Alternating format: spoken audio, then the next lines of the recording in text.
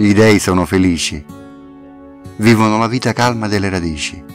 I loro desideri non li opprime il fato, o se li opprime, li redime con la vita immortale. Non hanno ombre o altri che li attristino, e inoltre non esistono.